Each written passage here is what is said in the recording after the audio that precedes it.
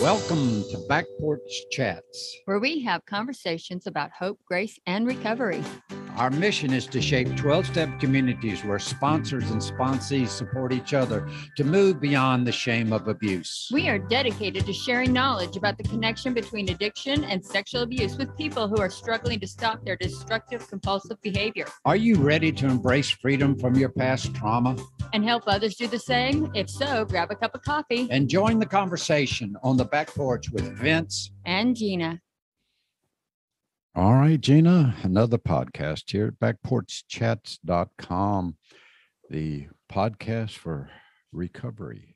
Got a good guest today. Somebody Absolutely. that's uh, I'm really jealous of. Um, I've already started hating him because of the lifestyle that he has. Um, you know, makes me feel um, inferior and like a chicken shit all at the same time. can, I, can I say chicken shit? I can't. I don't know that I can say chicken shit. you can there. say it. That's your podcast. Yeah. we can put a put a little sound over chicken shit. but you had a question that you wanted to ask. or yeah, yeah. are you- Well, go ahead. And, our our guest today wrote a book. It's titled "Alcoholics Not Anonymous," and um, it got me thinking. And I think he's going to talk about it a little bit. But it got me thinking. What is your take on anonymous? well, I, you know, I've been in the rooms of um, this anonymous stuff, 12 step stuff for 28 years. And when I first got into it, the anonymous was about me not wanting to be found out, you know, Mhm. wanting, wanting to be, uh, be able to come in safe and explore all that and not be posed. But as I got into it, it got to be less and less important. Uh, that kind of stuff because everybody knew that I needed to be there. I was Yeah. the last one that knew that, that I needed to be there. But I, I- think for some a lot of people early on in the recovery, that kind of anonymity is important. Um, but then the, it developed to me where that the really important part of anonymity is that um, the AA doesn't need to have anybody associated. We don't need a star. We don't need a big marketing person out there. That when it comes to that sort of stuff, we need to just kind of lay back Right. because if there's one thing in common with all of us is uh, these huge egos and so you know we'd spoil it so that's kind of the two things but i know from reading with our what our guest had today that uh, he's got a little bit different pers- perspective and he reached it and Mhm. it's actually one that that i really respect because there's there's that whole attraction and promotion thing that we talked about in the room we, Right, right. we use attraction not promotion but if nobody knows so I'm going to shut up. I want to hear it. But why don't you go ahead and give a background a little bit so that everybody else can start hating on him like I do? no one's gonna hate on him. Um, our, our guest is Paul Trammell. He's author of seven books and a sailor, and I'm really excited to hear about um, life on the sea. Um, his books are um, uh, my um, Alcoholics Not Anonymous, which I just talked about, and The Joy in Living Clean and Sober, and then of course he's got seven, five other books. Those are um, nonfiction. Paul, Three are nonfiction, two are novels. two are novels. Okay, wonderful. Yeah, I thought that's what they were. Um, anyways, um, so he's going to talk to us about an alcoholics, his book, his story, give us his story. And I am stuttering so bad today. Um, and he's going to talk about sailing and how um, sailing keeps him so- sober. Uh, welcome to the show, Paul Trammell. Glad to have you. Thank you. Thank you so much for having me on. It's an Yeah, honor. You're welcome. pleasure. So that's uh, we talk so much about recovery and alcoholism and everything. I really just as soon talk about sailing and why I hate you because you're Mm-hmm. kind of getting to live that life out there on the boat. Wake up every day, salt water in your nose, in your hair, the salt life. Yep. If you don't like where you are, you just pull up the rope and head on. What's that like? How how did you get into that? I you know that that is absolutely so awesome to have that courage to break those binds and do that. Yeah.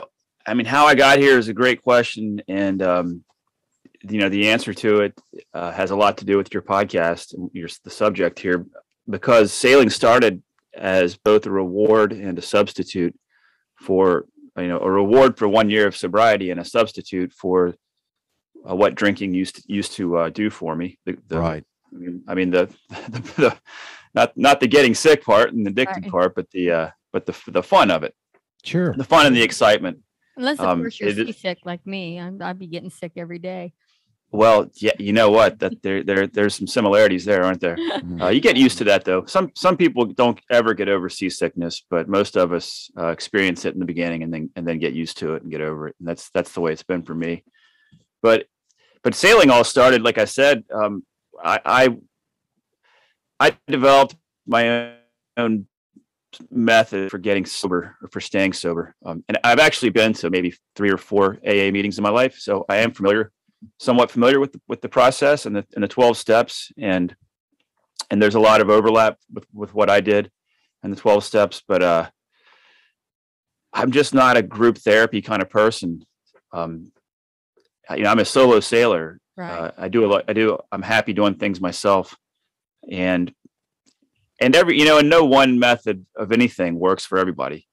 So So anyway, you know, I- some people, some people, I mean, that that's a very, very valid point you make. Some people are, are, you know, introverts. Some people extroverts. Some people love being with themselves and by themselves and are complete, completely happy and content, and are very uncomfortable in a crowd. So that that's good. Right. One size doesn't fit all, Paul. You know. So Absolutely, absolutely. So, so one of the things I did um, when I was getting sober, my first year, was I, I took cash I would have otherwise spent on on alcohol and put it in a box, and I would occasionally pull it out and hold the cash and look at it and think think about you know the money like look at it as a reward. Like here's something tangible that i've got in my hand that i wouldn't have had otherwise. So it's a nice it's a nice way of just reminding yourself that that there is something to gain when you're going through the hard times of not drinking anymore. Uh, Right. in the first Right. year as everybody knows is is is pretty tough. So as that first year wore on i decided i should i should spend that money on something eventually. I shouldn't just keep you know forever saving cash. Um, and that and that gave me a goal. So I, I thought well after one year i will spend this on something. And first i thought it was going to be a cool vacation and then and then i started but then i started remembering an old dream i had which was to be a sailor. And i had given up on it because the more you drink the less you can sail uh, it's not something you can do when you're when you're drunk um, especially if, if we're talking about offshore sailing. Right. you, you know sailors have a reputation of drinking um, but it's not true for those of us that sail offshore and, and actually travel. Um, most most sailors who drink don't drink when they're sailing offshore. It's just Right. they just don't work together well together. It's difficult and dangerous enough as it is um, and you have to be able to just go to sleep quickly and wake up quickly and keep your balance et cetera et cetera. So i bought a one week sailing class with my the money i had saved and I immediately fell in love with it.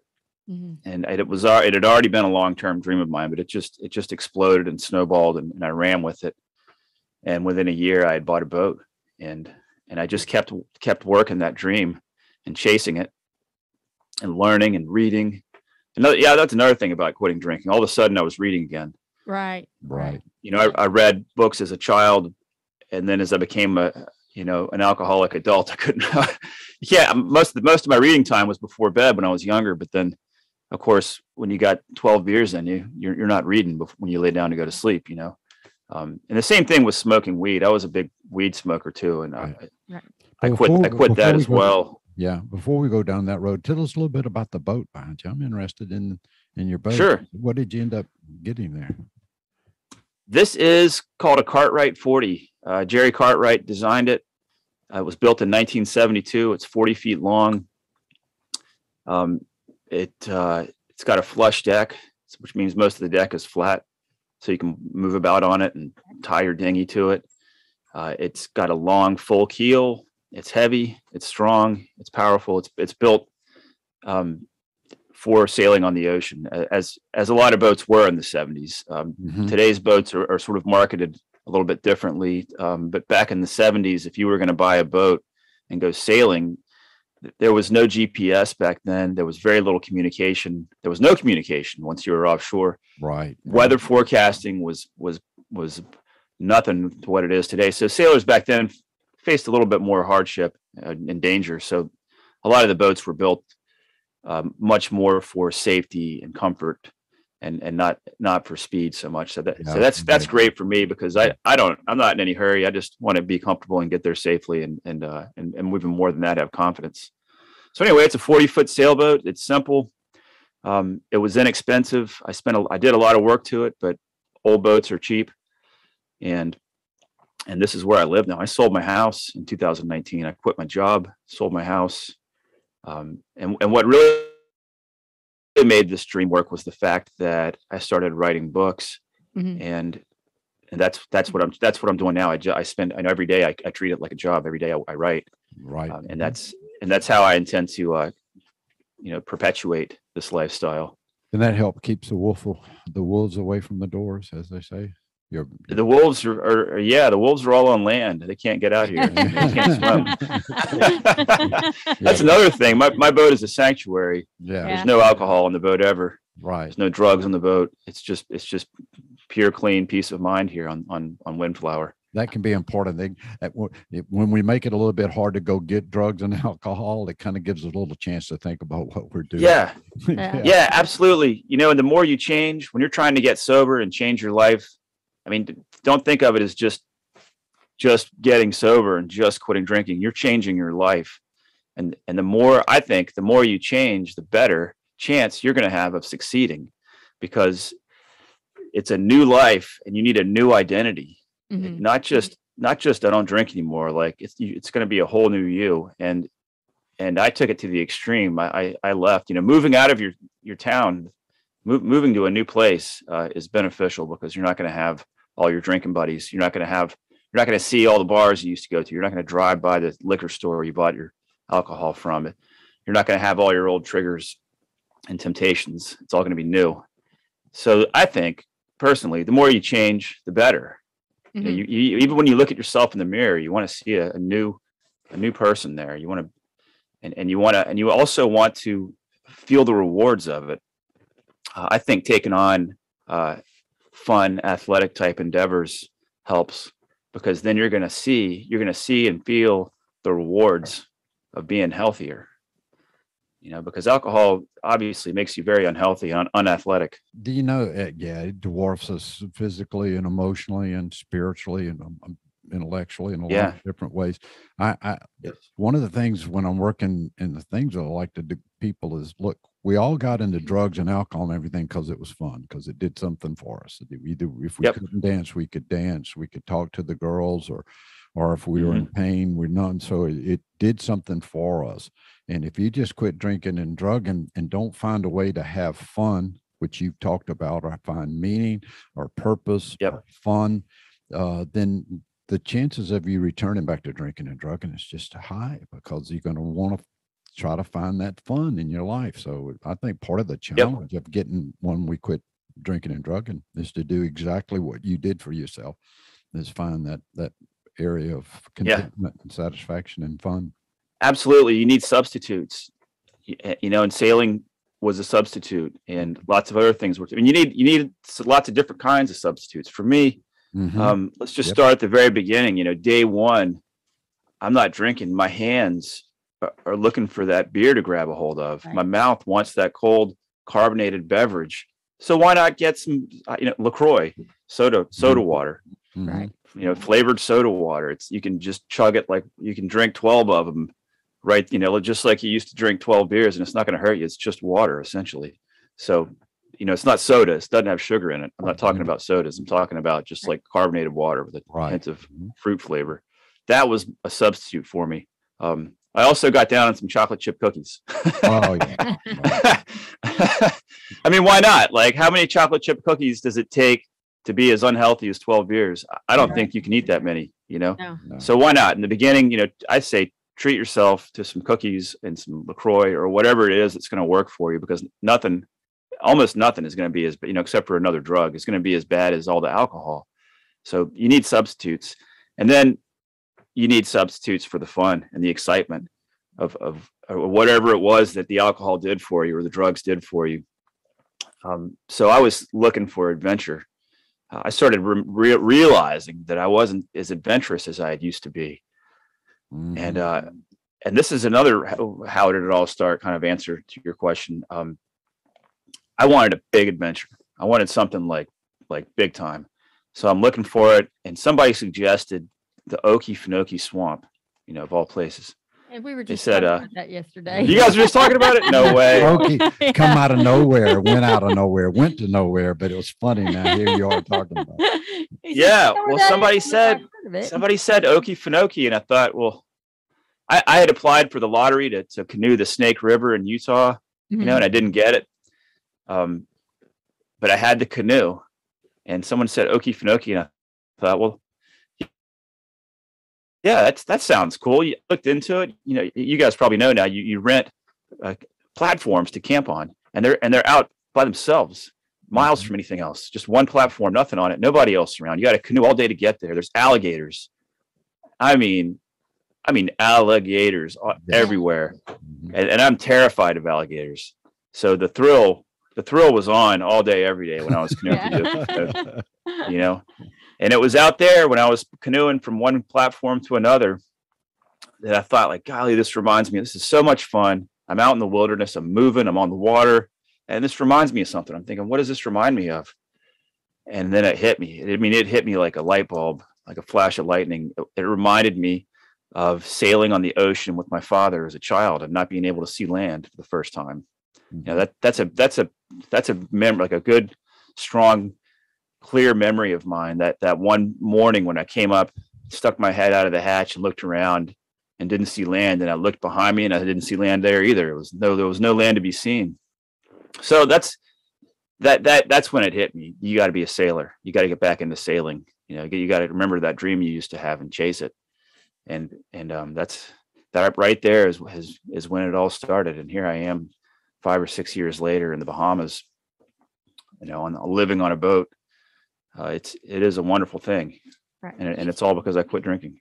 You've said several things that I, I, you know, totally believe in for recovery. We need to um, search, go towards something. You know, I mean, we can sit and whine about not being able to drink, or we can go get something, which is what you did with the, um, you know, with the sailing, and then the Mhm. rewards. It's it's important to reward yourself. I always said, you know, um, I like to play pool, and people, you know, when I first got sober, I would go to pool halls, and people, you know, would like why are you going there? That's temptation. That's temptation. And I said, because I'm not going to punish myself for doing something good. I like to play pool. I'm going to continue to play pool. And I don't Mhm. anymore, but you know, I so I did that. And um, and then um you completely took yourself out of the environment.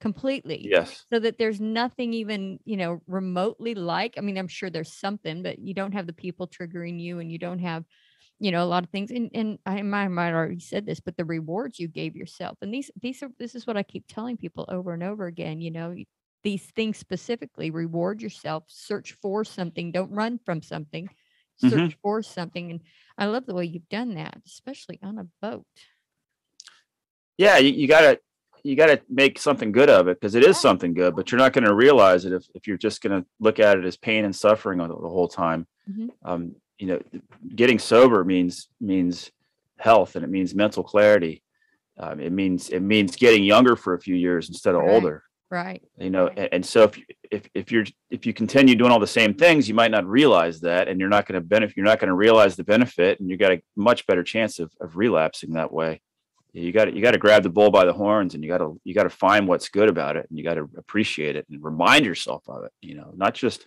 not not just do something cool and fun and but remind yourself while you're doing it i'm i am doing this. I'm able to do this because i'm not a drunk anymore you know? Like i'm able to go backpacking for instance because because i don't have to have a cooler full of beer right next to me you know? i've actually Like, seen i was people backpack that way by the way. Yeah right. I mean you can carry like, really? You're taking a cooler of beer in, into Yosemite? Right. So you're you can't you can't go as far. You could go a lot further without that cooler of beer you know? Um so you got to remind yourself that that that you are benefiting from from being sober you got constantly i mean still seven years later i still wake up in the morning Yeah, sure. and I think, and I think, I am not hungover today. I feel great. Like I'm getting. It's five in the morning. I'm awake. The stars are still out. I'm gonna go sit up on deck of my boat and drink some coffee and watch the sunrise again. You know, Mhm. like I do every morning because I'm not hungover. Right. Yeah, I still remind myself of the of the the benefits of not being a drunk anymore. You know, uh, Paul, uh, what I'm relating to as you go here, you know, we talk about the spiritual reconnection, and a lot of people in the, the 12 step room and stuff hear that as God, and it is, and all that sort of stuff. But there's another component of this whole spiritual part for me, which is what you just talked about in that, in that, you know, there's the spirit like the football team has the cheerleaders that, you know, is the spirit team, the rah rah team, you know so uh, there's this spirit, this reconnection to ourselves, to the spirit of ourselves or our soul. Also, the spirit of connection to the the mystery of the universe that's bigger than we are. That provides. You know, I know that you know, like you and your sailboat. I wondered if you've ever been that place out in the middle of it, and you know, there's this mysterious source that you can't see called the wind that's pushing you around. You know, taking you places and that sort of stuff. So and I am I don't really have a question here. I guess I got to come up with one. Uh, but uh, you know, but, but, there's just that connection, this spiritual connection with ourselves that's so important to the, this mystery in in life. That's fun's part of it. But there's a you know sitting up on the deck watching the sunset with a cup of coffee. That's another part of it uh, reading, intellectual studies, all of these different things, physical activities, proper nutrition, but all of that re- reconnects us to the spirit within ourselves. No question. Well, you're absolutely right. yeah, no, you're absolutely right. And and you can't have any of that without mental clarity.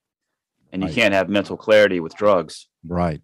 But you know, you you you could you think some people think they do, but you know, not I mean, not with alcohol. Alcohol doesn't do it at all, right? But a lot of but a lot of pot smokers are going to think that that they're that they're getting they're getting something like that from the weed, but it's just a cheap shortcut that gets you that gets you a, a small fraction of the way to where you really want to go and never any further. And and to really get there, you've got to have clarity of mind, and you can't have clarity of mind with with any drug you know in your system and uh, and I contradict myself right then and there because I drink coffee while I'm well, while I'm meditating in the morning. But hey, you know, sugar. If it wasn't for sugar, caffeine, and nicotine, most alcoholics wouldn't get sober. But the uh, yes, they got to have all of those, and all three of those are yeah. So I yeah exactly. But so I, I grant myself license there. But um, even if you're one of those that likes to go on these spiritual trips with the halluc- hallucinogenics and that sort of stuff, and you get a shama, I got some friends that's done that sort of stuff. I, I personally haven't, but you know they've done all that. But even them doing that, they eventually have to return to some state of sobriety to even enjoy the benefits of that. They have to get clean. They can't stay right. there. You can't do that. It's something that maybe works for a little bit, but all of it will quit working, especially when you start abusing it. Absolutely. You know, and, and I, I played around with hallucin, hallucinogens um, when I was in my 20s uh, a little bit. I never I never really got into it. It's a bit heavy for, for me mm-hmm. to do that more than like once a year is about what I did for 10 years maybe. Um, but but right, you, you can't you can't just do something like that over and over again. And, and if you really want to connect with with the spirit whether whether that's God or or whether that's nature or whether that's something without a name. Uh, you can't do it without clarity of mind, and you can't have clarity of mind unless you're sober. So that's just that's another reward for sobriety of, of sobriety. And and my my morning ritual is every single morning.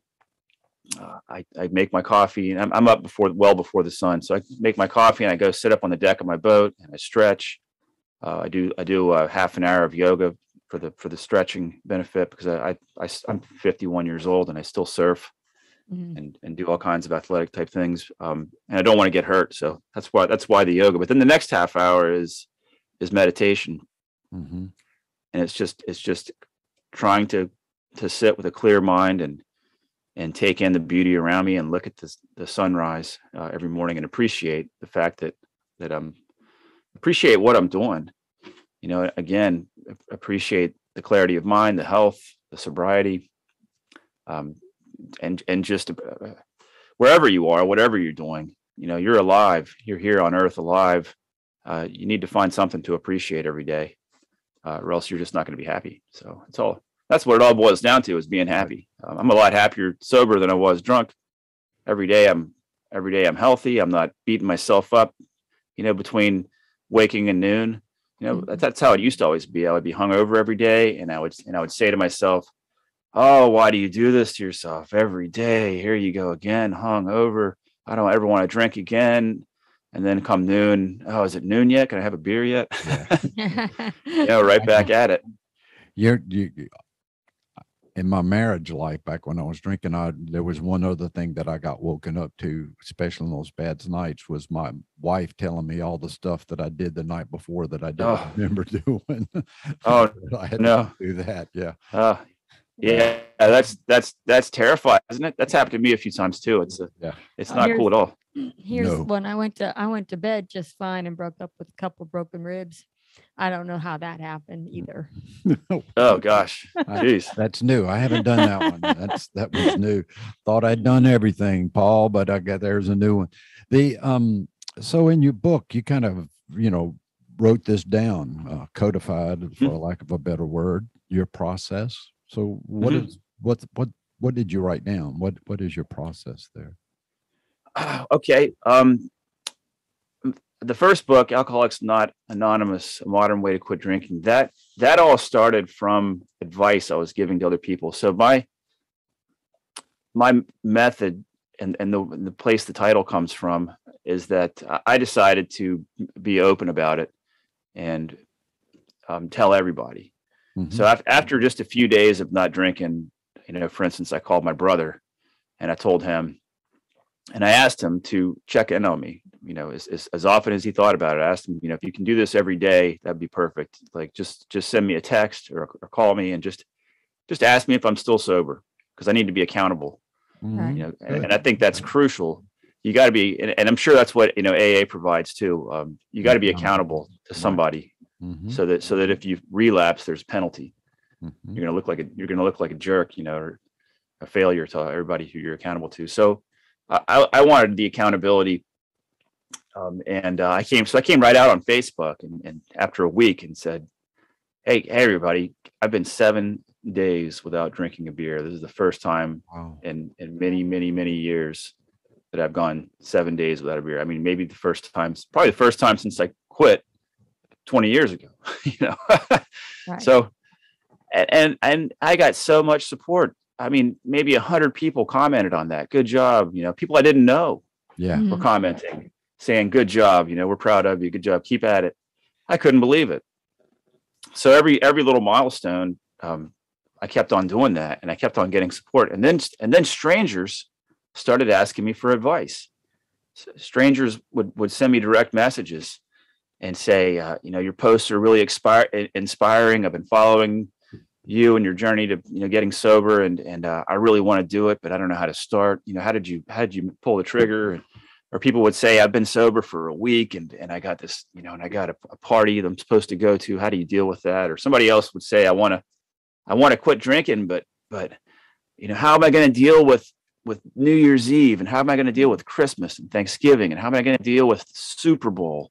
and my buddy's birthday that we've been getting wasted together, you know, once a year for the last 30. Like, how am I going to deal with all that? You know, those are all great questions that really require a solid answer to. So hmm I would sit down and think about it, and and then I would write. uh, I would write them back every time, you know, and they would and they would keep sending me questions. So eventually, I came to realize, you know, I've got, I've got a book here.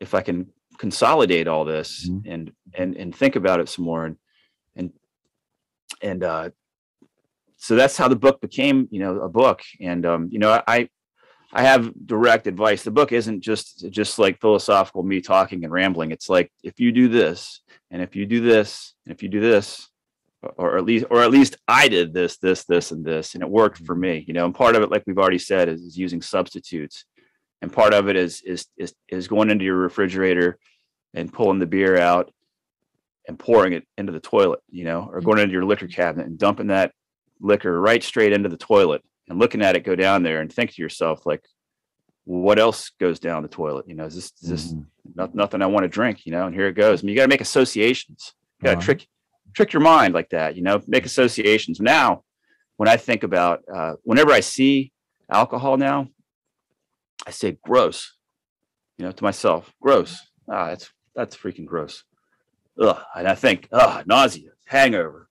Uh, remember that time? And I, I try to remember like laying down on the floor of the bathroom with the spins, you know, uh, Mhm. about to throw up. It- it- you got to associate alcohol with negative things, and, and that's not hard to do because there are a lot of negative things. At least as many negatives as there are positives. More, Oh, I'm sure. more. But a lot it's easy more to do. fun. Mhm. Yeah, a lot more. It's easy to think of the bad, the bad, uh, and remember that. So there, there are a lot of little things like that I do. And I mentioned, what do you, you know, what do you do when, when uh, people ask me, what, what am I going to do about New Year's Eve? Well, let's not, not even think about New Year's Eve right now. This is what, this is where AA has it right. You know, just we're just we're just going to be sober for today. We'll take that to the next, the next step. Mhm. We feel a craving to drink. You know, it's day three. I've been two days without alcohol, and I know that the 7-Eleven is right down the street, and they got they got beer there. You know, I can Mhm. just go buy it. So you're thinking, do I do it? Do I, do I grab the key? No, no, no, stop. You know, let's just not drink right now. Like right now, not not today. We're not talking about three hours from now. We're talking about right this very second. All right. So I've got past this this this. It's been ten seconds now. All right, ten seconds. So am I to drink right now? Nope. Nope. We got another ten seconds. And and thirty seconds later, the craving's not there anymore. You passed it. And now you got to say to yourself, well, what did I just do? I just beat a craving for one of the world's most addictive drugs. Mhm. Like that's big. That's big time. That's like that's like bench pressing more than your max ever. It's like Yeah. hitting a new goal. So Over- so congratulate yourself. You know, congratulate. Tell yourself, good job. I did it. Okay. Not only that, now you're stronger. Mhm. You, you have you have succeeded at one of the world's most difficult things. Even if it's just for three days or ten seconds, you've done it. So you got to congratulate yourself. Realize that you're actually stronger because of it. And and and know and have confidence that next time a craving strikes, you're going to be able to do that again, and it might not even be as hard next time. And and that's what you do instead of thinking about New Year's Eve. You know, three Sure. months from now or whatever, six months, a year. That's awesome. That's exactly the Yeah. process. That that's Yeah. exactly it. Yeah. So that's like one chapter of my book right there. You know, there's Right, then there's 10, 10 or 12. It's a short book. I mean, that's like that's a book you can read in three hours. Oh wow. Um, yeah, it's just you know, it- Paul, it's not it's what not a lot of fluff. Well, what what we need to do is uh, easy and simple, but it's hard to do. you know, That's right. you you you've made it uh, straightforward and simple, uh, and I- and I love that. And it is the process. I relate to everything that you've said. I know that for me, Yeah. pouring the alcohol out, just pouring, that was such a huge milestone for me. You know, E- Mhm. every time before I decided to quit, it was, well, when this bottle's done, when this bottle's done. And then, of course, I had to buy more bottles. But this, you know, well, I'm not throwing it out. Let me just finish this bottle. I don't, I don't know how many times I did that, but, but when I was Mhm. actually able to pour it out, that was just this biggest milestone because it really didn't even bother me that I was doing it, but it was the first time, you know, it bothered me. Yeah. Such a big deal. And at and at that point, you've made an investment. Right. And we're all everybody's loss averse. We all hate to think we wasted something. Mhm. So so if you pour out liquor and start drinking again, well, yeah, you wasted the value of that liquor. But if you Right. pour it out and don't start again, now that small investment was was was what got the ball rolling. It's a small investment of money that you've already spent, um, and and it's and it's only gonna you're only gonna feel like you wasted it if you start again. So Oh, so so there there's another way to make it to make there be a Right. penalty for starting again. Well, and it becomes an investment in time, you know, which the couple of dollars I spent on the alcohol is no big deal. But I'm, you know, I'm three years sober now, and there's an investment in time. For me to relapse now would just devastate me. I would just Oh, yeah. three three years. You know, um, that would Yeah. be harder than pouring out. Right. This point. Absolutely. Yeah. Absolutely. And that's why it's, I think it's important to, to, to count, count Mhm. your days, count your Mhm. months, count your years. Yeah. Uh, you know, think of it as a birthday. You know, I, I think of my, the day I quit drinking, it's February 3rd. Ah, it's coming up. Golly, it's coming up soon. February 3rd. It's going to be seven years. That's, that's more important than my birthday. I didn't do anything. You know, my mother should celebrate my birthday. She's the one who did something, you know? I get I get my mom flowers for her birthday. I, I started doing that after I gave birth, and she says, "What's this for?" For on my birthday, she says, "What's this Yes. for?" And I says, "I know what it feels like. You deserve flowers." yeah, right. They're the ones who did all the work. Yeah. Correct. You Correct. know, That the my- birthday, we need to celebrate them, and then we, the, we also need to celebrate every day that they didn't kill us for being- for. So my mom, my mom, I'd have probably have many days if my mom was still alive. Oh, yeah, my mom could have had a, a lot of excuses to kill me. That's for sure. Well, I will tell you this: that in the rooms, one of the things that we do do there is seven years. Oh, thank you, thank you, thank you. Awesome. That is huge. I'm gonna tell you, and congratulations. That's that is a big deal. Seven years is uh Thanks. that's awesome. Congratulations. It's wonderful. It's and it's so much easier now. It's um, it's not much work anymore. Uh, I Mhm. you know, as long as I keep doing what I'm doing, I, I'll, I'll never go back to drinking. You know, I don't. It never. It's never a threat anymore. That's a new Um, habit that you've built and, and you've had seven years to Yeah. this habit. I built a new habit and I built a life Mhm. around sobriety. I mean, for instance, when you write a book about staying sober, well, you're going to real really be a jackass if you start drinking again, yeah. know? Why do you think we got a I mean- podcast? Yeah. right? I mean, you guys like people look up to you now. You've got a podcast, but if you start drinking again, boy, you're going to have to wrap it up and, and go hide somewhere. You know, like you can't. You know. Uh, yeah, no, it, it the more we become invested in, the more fun it is. Uh, the easier it is. Yeah. I um, I hardly ever think about drinking or drugging anymore. Of course, part of that's just the fact that I'm getting a little long in the tooth. I think I'm just not quite as mad at the world as I used to be. But um, uh-huh. y- you know, but I it- but it doesn't matter. I, I it just doesn't call me. But there's still a lot of things that I got to stay in the middle of the road with this recovery for.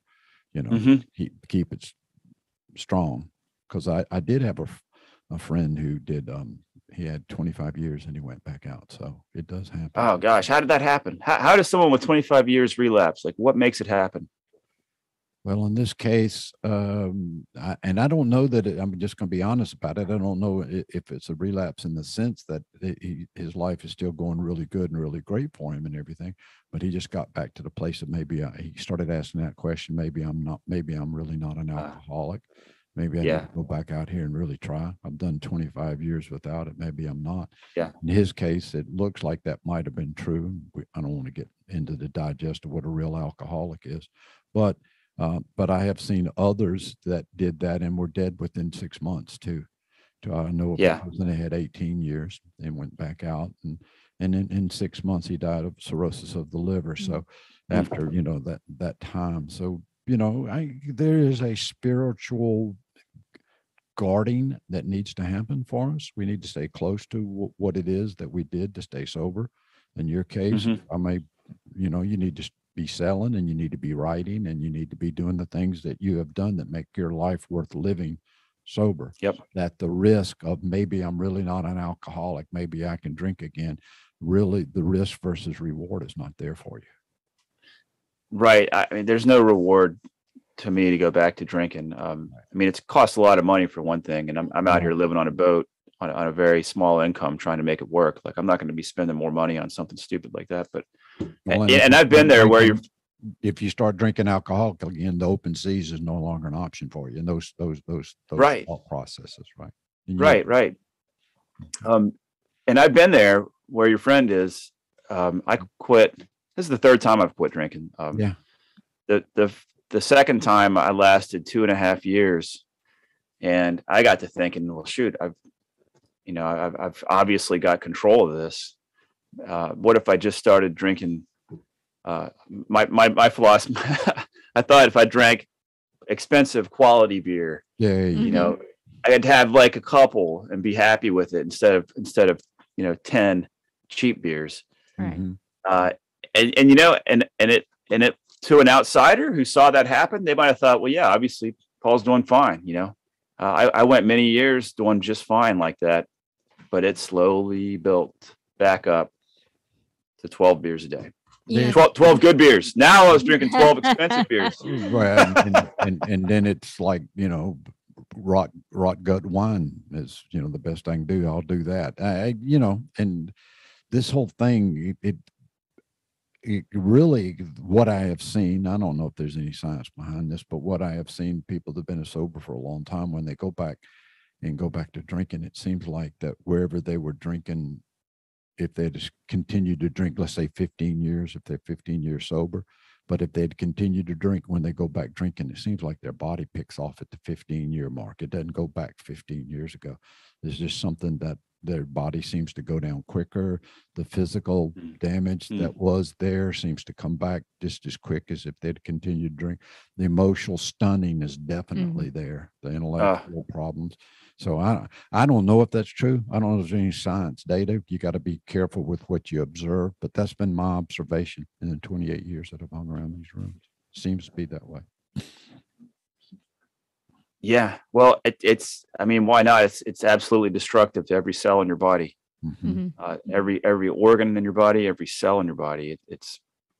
I mean, it just it's it's just poison in every sense of the word, and Mhm. and the fact that it's the that it's like available at the grocery store and the gas station and in the convenience store, and it's totally accepted by our society. It's kind of baffling once you step away from it and look at it from Well, you know, point of view. I mean, that legality it, it- here's a phenomenon that i'm seeing in the uh, the 12 step rooms that i hang into with the opioid epidemic. Mhm. we're getting housewives in there uh, who legitimately got prescribed some kind of Lortab or something for some kind of injury or something and they became addicts slam bam thank you ma'am like almost overnight and then that led to alcohol and all that sort of stuff um Yeah. that never would have been uh, because of this legal drug you know opioid uh, lortab is legal doctor prescribed it how can i get can i'm with the doctor how can i have a problem and i don't need to beat up anybody or whatever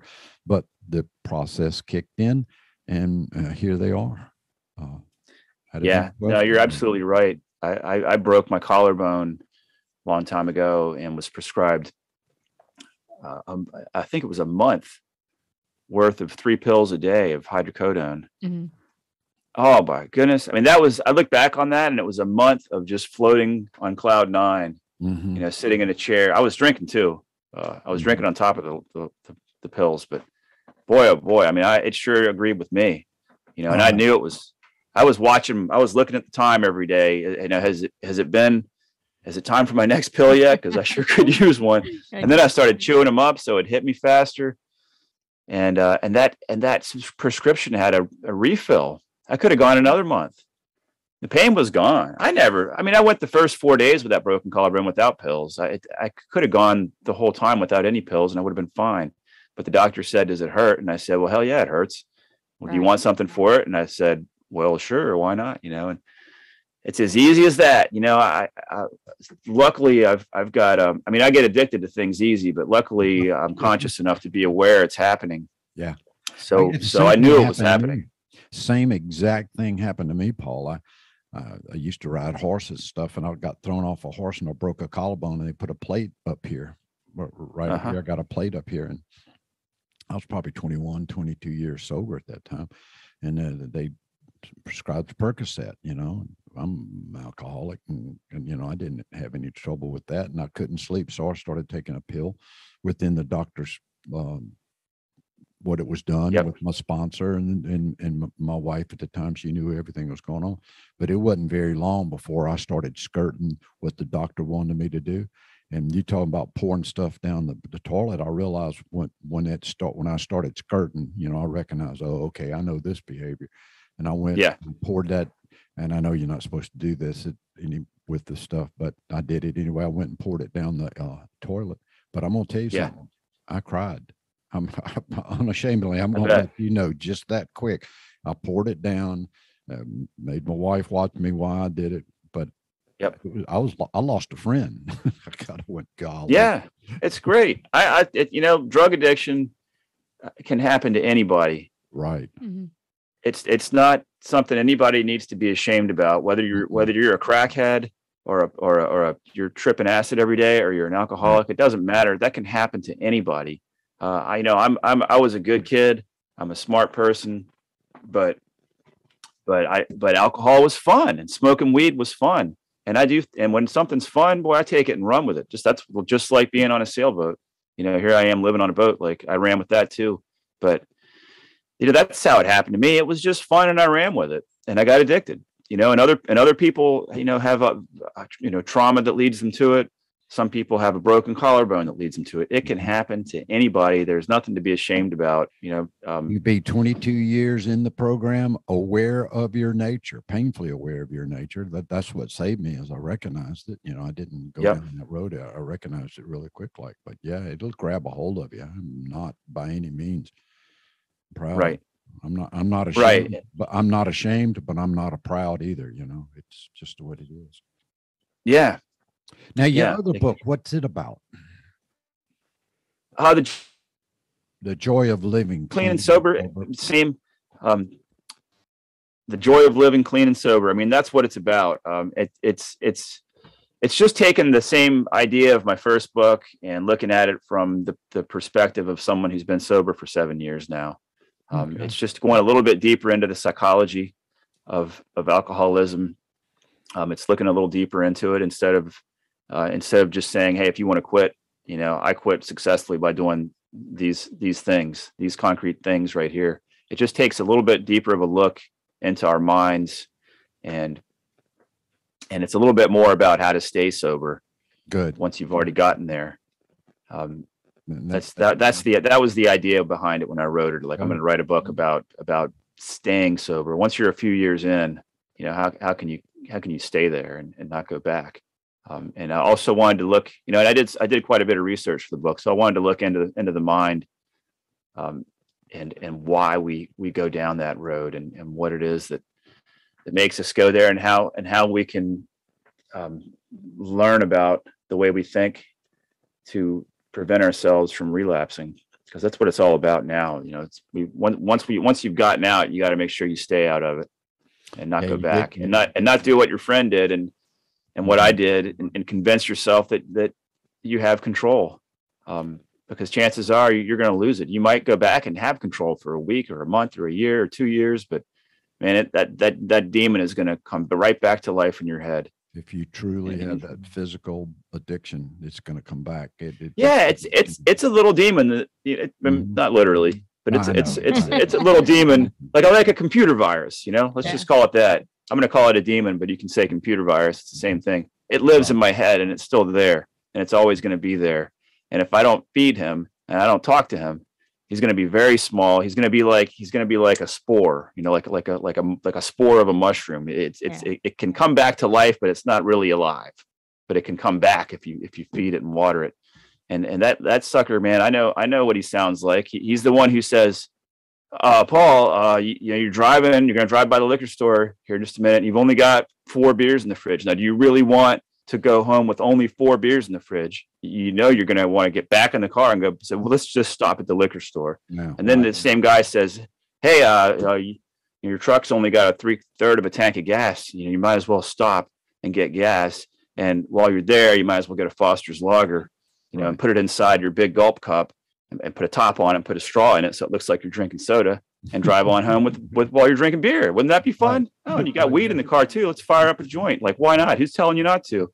Like that that i mean he knows exactly what to say to me to make me do it because it's me. Yeah, like like know, like the expense. it's part of me. And he's still there. he's not going anywhere. Yeah.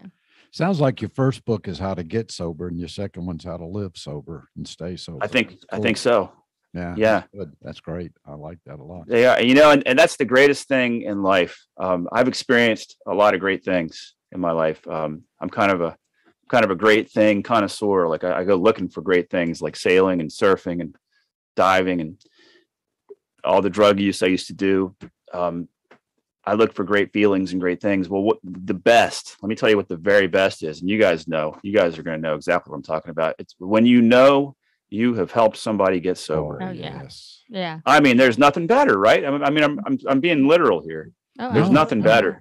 Yeah. When someone when someone says to me, a stranger sends me a message on Instagram or something Mhm. and says, "Hey, I read Alcoholics Not Anonymous or, or The Joy of Living Clean and Sober, and and I and I got sober and I am sober, and because of that, I got my I got r- rights to my see my children again.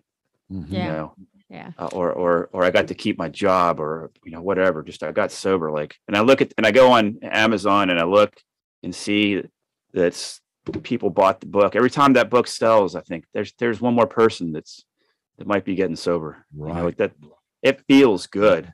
Yeah. It does. It make it gives me goosebumps. I mean, it's better than than than a drinking beer or smoking weed or any of that. It's so much better. It really It's just it's not even on the same plane. It's it's a different order of magnitude.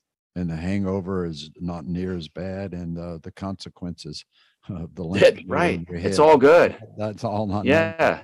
It's all And then, Good. uh, yeah, good karma too. I mean, I, that's Yeah, that's fine. We about run run out of time here, Paul.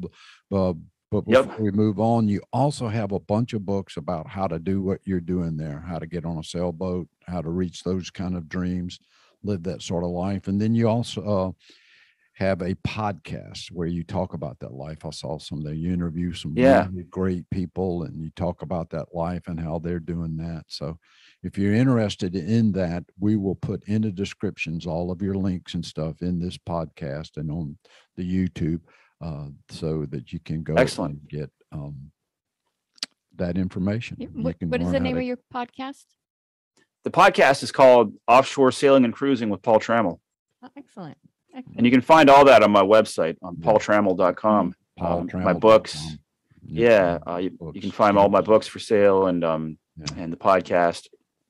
Um, and uh, Yeah, yeah, that's awesome. But just had a great time. Uh, I, I at the Me beginning too. I said I hate you. I'm, I don't really hate you. I love you. I hope you continue on being self selfish and Oh, I'm jealous. If you ever, we are in Mobile, Alabama, uh, which is All right. in Mobile Bay. If you ever decide that you need Yeah. to get some muddy water or whatever, you come up this way. Be sure to get in touch with. I us. I occasionally pass through Mobile because my family is all from Alexandria, Louisiana. And, Oh, uh, really? And I, and I live in Florida, so I'm, I've used to live in Florida. So I've driven right past Mobile quite a few times. Mhm. Yeah, there's a lot of people that drive past Mobile. Yeah. It- The interstate goes right through it. Yeah, Right. bam, hit a couple of tunnels. No, actually, Mobile's a great place. The the home of Mardi Gras. All the people out there from New Orleans. Is it really? Yeah, yeah, actually, Mardi Gras, at least according to us, got started here by the guy by the name of uh, Joe Cain. It's a really Joe All Cain, right. C A I N. You might want to look that story up. It's an interesting story. But Sure. all right. Vince. there we are. Another great podcast. Mhm. Made a, a podcast. Podcast. Podcast. made another great friend, Paul Trammell. Get out there Yeah. in the descriptions and um, also backporchchats.com. Mhm. Check us out, subscribe, book on the Patreon. You know, Vince, I have to tell you, I've been dreaming of being on that boat all day.